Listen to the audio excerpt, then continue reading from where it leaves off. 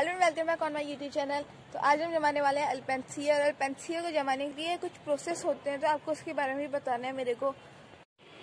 तो फ्रेंड्स मेरे सामने अल्पेंसिया का प्लांट है और इसके ये एक्चुअली ये इसका फ्लावर है।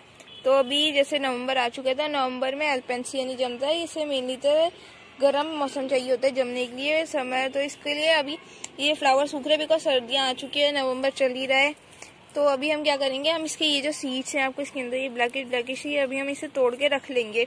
तोड़ के रख लेंगे मतलब कि इसे हम संभाल के रखेंगे ताकि जब जून या जुलाई का मौसम आए गर्मी में, तब हम इसके सीड्स ऐसी मिट्टी में डाल देंगे।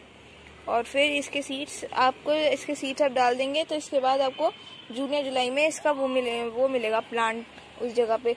तो अभी मेन क्या है, आपको इसके सीड्स तोड़ के रख लेने हैं ताकि आप इसे बाद में जून या जुलाई में जमा सकें वापस।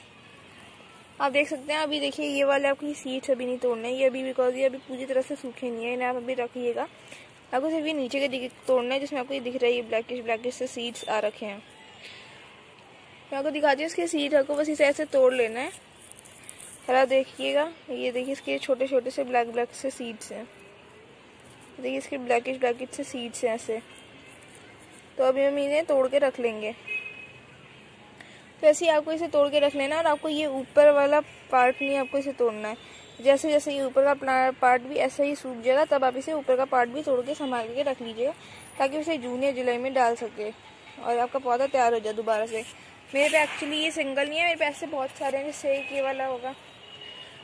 एक ये वाला है।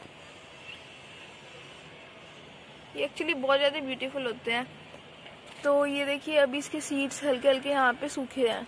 हल्के हल्के से सूखे हैं तो इसके भी मैं हल्के से तोड़ के रख लूँगी। अभी मैं इसे पूरा नहीं तोड़ूँगी, ऊपर से।